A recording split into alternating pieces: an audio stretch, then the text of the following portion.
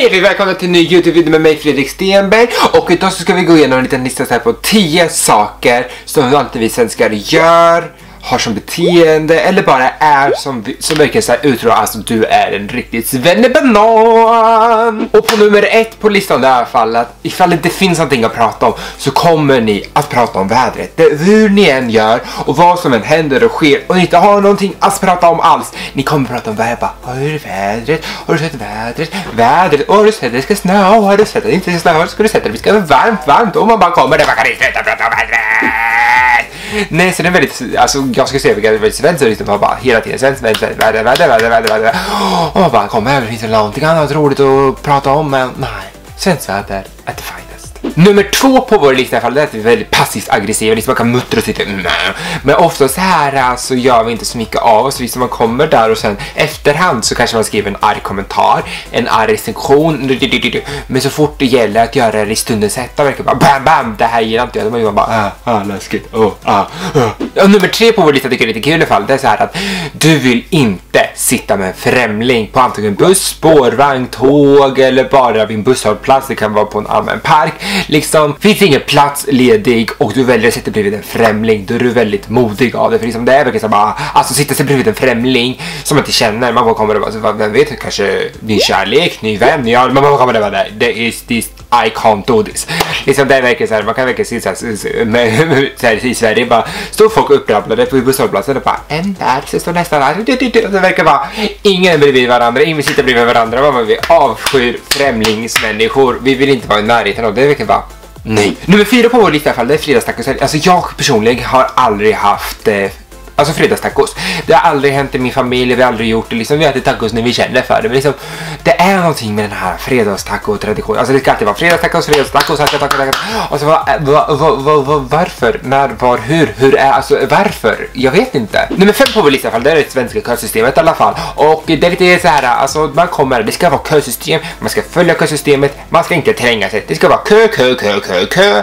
Och det ska vara fin kö. Det är ju... mm, tills man kommer fram till sitt mål. Nummer sex på denna lista fall, det är något jag personligen kan verkligen connecta med. Det, det, det är alltid, alltid, alltid, alltid finns en anledning att fika. Och vi har jobbat i två timmar, vi kan ta en kaffe. Och vi har varit duktiga faktiskt, lämnat in ett prov, vi kan ta en fika. Och vi har faktiskt så här, vi kan ta fika. Vi har inte gjort någonting, vi kan ta fika. Jag har bara så, vi kan ta fika, fika, fika, fika, fika, fika, fika, fika. Det finns alltid, alltid, alltid, alltid, alltid, alltid, alltid en anledning till att fika. Nummer sju på den listan är att vi tar av oss skorna när vi kommer in. Och liksom det är så här någonting man upptäcker när man kommer, när man är utomlands och inom vissa societeter även i Sverige.